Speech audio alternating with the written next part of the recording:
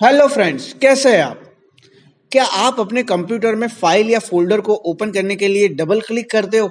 या उसे ओपन करने के लिए राइट क्लिक करके ओपन करना पड़ता है?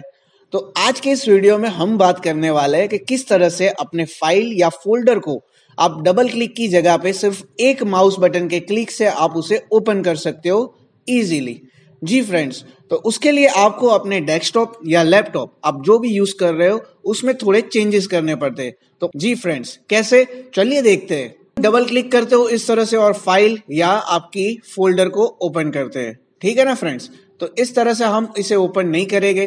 तो उसे ओपन करने के लिए आपको चेंजेस करने पड़ेंगे सेटिंग्स में। तो उसके लिए आपको माई कंप्यूटर पे डबल क्लिक कर देना है और आपको कंप्यूटर को ओपन कर देना है।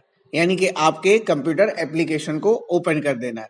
यहाँ पे आपको ये देखिए, ऑर्गेनाइज बटन पे क्लिक करना है और यहाँ से आपको फोल्डर एंड सर्च ऑप्शन पे क्लिक करना है। जी फ्रेंड्स, यहाँ पे क्लिक करते ही आपको एक डायलॉग बॉक्स ओपन होगा, फोल्डर ऑप्शंस का।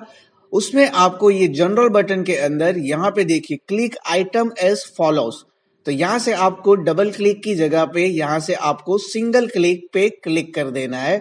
और यहाँ से आपको अप्लाई कर देना है। और यहाँ पे आपको दो और ऑप्शन मिलेंगे कि आपको सारे डेस्कटॉप पे जितने फ़ाइल या फोल्डर है, उस सब में अंडरलाइन दिखनी चाहिए, या आप जब कर्सर वहाँ पे ले जाओ, तभी अंडरलाइन दिखे। तो हम जब कर्सर ले जाएँगे, तब अंडरलाइन दिखेगी, उसके ऑप्शन पे क्लिक कर देते हैं और यहाँ से आपको अप्लाई कर देना है और ओके कर देना है। अब ये हमने ऑर्गेनाइज बटन से क्लिक करके आपको ये सेटिंग का तरीका दिखाया। आप उसे कंट्रोल पैनल में जाके भी कर सकते हो। आपको कंट्रोल पैनल ओपन करना है और कंट्रोल पैनल में आपको यहाँ पे फोल्डर ऑप्शन मिलेगा। जी फ्रेंड तो फोल्डर ऑप्शन पे क्लिक करना है। क्लिक करते ही आपको फोल्डर ऑप्शन का डायलॉग बॉक्स मिल जाएगा। तो यहाँ से अप्लाई करके ओके कर देना है। अब हम डेस्कटॉप पे आ जाते हैं और देख लेते हैं, ये सेटिंग अप्लाई किया है, वो वर्क कर रहा है या नहीं कर रहा है।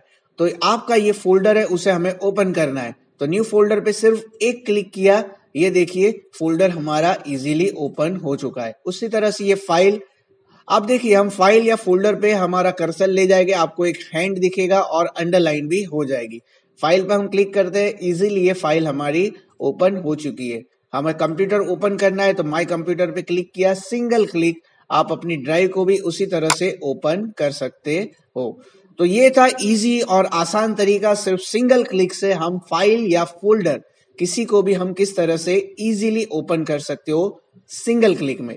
आशा रखता हूँ आपको यह वीडियो अच्छा लगा होगा। Thank you for watching my video